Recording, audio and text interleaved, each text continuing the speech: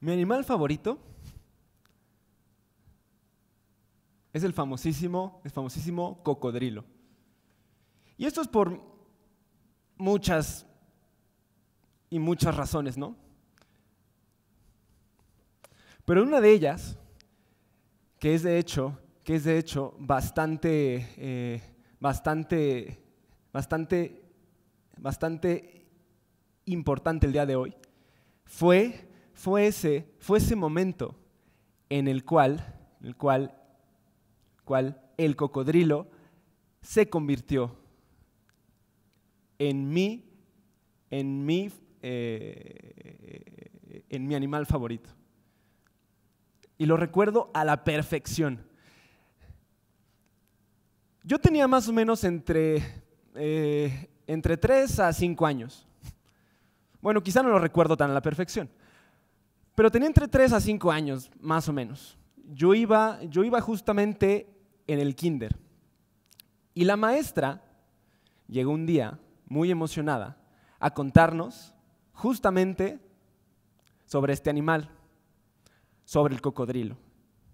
Y la maestra empezó contando una historia sobre un cocodrilo grande y muy fuerte, verde. Era el rey de un pantano y sobre todo era un animal respetado y querido por todos los demás animales de ese mismo pantano. Para mi corta edad eso me voló la cabeza y llegué muy emocionado ese mismo día a mi casa a contar esa misma historia a mi familia. Y lo recuerdo perfecto, estaban ellos en la mesa del comedor sentados. Yo llegué muy emocionado, aventé la mochila, me paré enfrente de ellos y empecé. Eh, eh, eh, la, la, la, la maestra no, no, no, no, no nos contó la, la, la, la, la historia de, de, de, un coco, coco, coco, coco, cocodrilo.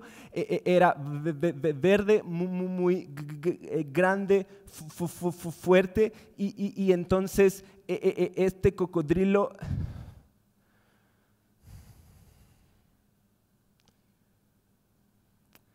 Yo me acuerdo que la maestra nos contó la historia en aproximadamente dos minutos y yo me había tardado diez. Y cuando terminé de contar esa historia, mi hermana la mayor volteó los ojos y suspiró.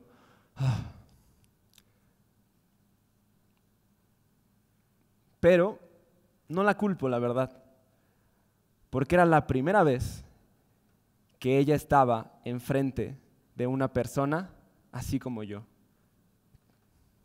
tartamuda. Y es que hecho es bastante normal, porque la gente te voltea los ojos y porque la gente hasta suspira.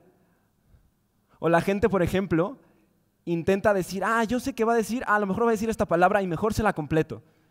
O mejor intento adivinar a ver qué es lo que me quiere decir. O se ríen de ti, o te critican, o te arremedan.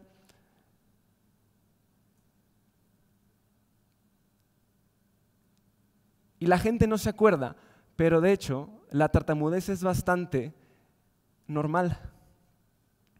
Y yo, a mi corta edad, me di cuenta que yo tenía en mi vida una, yo tengo en mi vida una limitación, pero nunca me di cuenta de, pues de, pues del fuerte, pues del fuerte impacto que esta iba a tener en mi vida.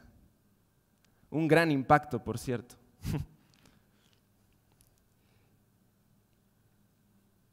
y es que de hecho, más o menos como el 65% de las personas así aprenden a hablar, tartamudeando.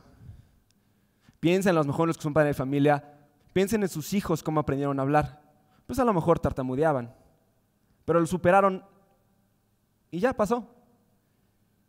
Yo formo parte de ese 25% que sigue intentando e intentando superar esta limitación. Y es que después de 20 años, de más de 20 años de vida, de intentar yo, de intentar yo luchar contra la limitación y superarla y tomarla por el cuello y no dejar que me venciera, me di cuenta de tres cosas fundamentales que todas las limitaciones comparten. Número uno, todas las limitaciones son algo, son algo fuera de ti, externo. Ojo, no quiere decir que no se encuentren dentro. Quiero decir que no dependen de ti. Y como no depende de ti la limitación, no es algo que te defina. Yo no llego con la gente presentándome, mucho gusto, mucho gusto, ¿cómo están? Mucho gusto, ¿cómo están? Em, tartamudez. Pues no, porque no es algo que me defina. La segunda característica es, como no me define y como es algo que está fuera de mí, no es algo malo. Porque siempre nos han enseñado que hay que luchar contra las limitaciones y hay que enfrentarlas y hay que irnos de frente con ellas y pelear. Y yo te digo no. Porque entre más las enfrentas y entre más piensas que son algo negativo en tu vida, más en este caso, les das un peso que no tienen. Es algo que siempre va a estar en tu vida y hay que darle el justo peso que tienen. Y la tercera característica que todas las limitaciones tienen, y esta es una característica hermosísima, es que todas las limitaciones pueden ser algo más y se pueden convertir en algo más. El problema es que este para convertirse en algo más. Es un proceso complicado, difícil y muchas veces, casi siempre, doloroso. ¿Cuántas veces, por ejemplo, decidimos no tomar un riesgo?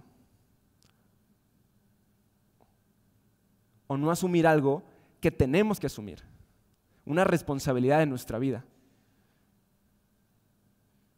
Yo me acuerdo perfectamente porque pensé muy joven. Cuando yo iba en la primaria, por ejemplo, y nos tocaba leer a todo el salón, y era así como, a ver, vamos a leer una fila por una fila, por una fila, por una fila, y cada punto vamos a cambiar y sigue la persona de atrás. Algo que nos encanta a los tartamudos, por cierto, es leer y leer en público. Nos fascina. Y a lo que me encantaba, a mi corta edad en la primaria, pues era leer, lógicamente. Y como algo que me encantaba, pues me ponía extremadamente, extremadamente nervioso. Y me sudaban las manos, y me dolía la cabeza, y el estómago se me hacía un nudo, y las piernas me empezaban a temblar, y sentía que se me iba la respiración completamente. ¿Qué hacía entonces yo? contaba a mis compañeros y contaba también cada punto. Y cuando sabía que me iba a tocar, dos puntos antes, me salía corriendo y me encerraba en el baño. Y me quedaba ahí diez minutos, con esa sensación de no poder ni hablar, ni respirar, ni caminar, ni nada. Y me quedaba encerrado hasta que sabía que había pasado el tiempo. Huía de mis responsabilidades. ¿O cuántas veces, por ejemplo, fingimos ser una persona que no somos? Por miedo. O por el que dirán. O por querer encajar incluso. Yo recuerdo también en la secundaria, de las primeras veces que empiezas a salir con tus amigos, con tus conocidos, y vas a una cafetería y pides un café o pides una comida, y la persona que te toma tu orden te pregunta, ¿cuál es tu nombre? por lo general ustedes responden, "Mm, tal. Yo siempre respondía, Sergio, Felipe, este, Luis. Porque no podía ni pronunciar mi propio nombre, porque tartamudeaba al pronunciarlo. Y, eso me daba pavor. Ahí me daba mucho favor conocer a alguien nuevo. Porque la gente siempre te dice, ah, preséntate. Y eso, eso hacía que me pusiera extremadamente nervioso y que todo esto que les platiqué que me pasaba en la primaria volviera otra vez a pasarme. Aquí en las piernas, aquí en el estómago, en la cabeza, me faltaba el aire, no podía respirar. Durante muchos años. Y un día,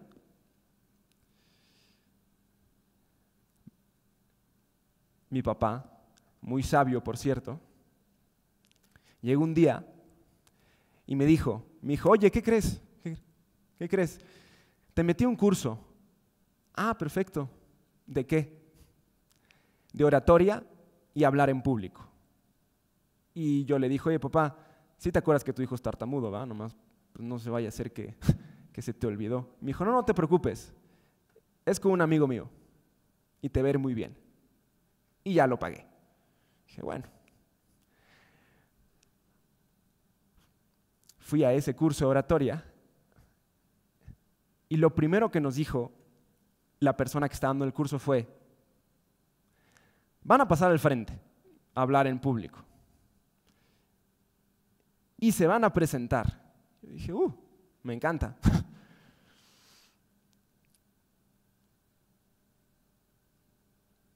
y me van a decir qué es lo que más les gusta de este tema de la oratoria. Perfecto. Agarré una hoja de papel, escribí los tres puntos, caminé igual por un escenario como lo hice hace unos, hace unos minutos, me paré, me planté firme, respiré hondo y empecé. Buenas tardes, mi nombre es José Diego Caballero Ibarra. Actualmente tengo 16 años y la verdad es que no me gusta la oratoria y no me gusta hablar en público porque me pongo extremadamente nervioso y porque yo soy una persona que tartamudea muchísimo. Y yo lo único, pero lo único que quiero de este curso es que pueda hablar de una manera mejor y fluida. Muchas gracias. Me senté en mi lugar y ya no estaba el nudo en el estómago. Y ya no sentía que la respiración se me iba. Y ya no me dolían las piernas y la cabeza. Y sentí en mí un fuego que nunca había sentido. Porque era la primera vez en mi vida que logré hablar de manera bien y fluida. La oratoria para mí se convirtió en una terapia, pero no sabía por qué, hasta que un día lo descubrí.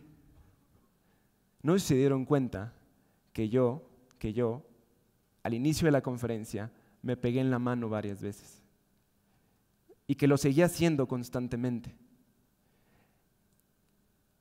Esto que yo hago cuando me pego en la mano es porque me estoy contando constantemente. Como un ritmo, piensen en la música. La música tiene un ritmo y ese ritmo no cambia, es algo que se repite. Yo me di cuenta que para que yo pudiera hablar de una, de una mejor manera, cuando me ponía un ritmo, cuando me contaba, salía mucho mejor y fluía mucho mejor.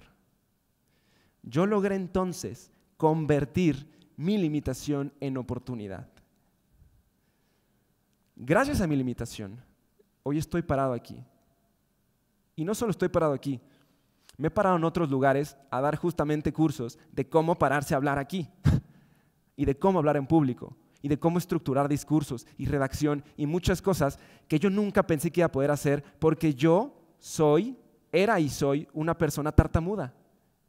Y quizá tú me dices, pues no se nota. Casi.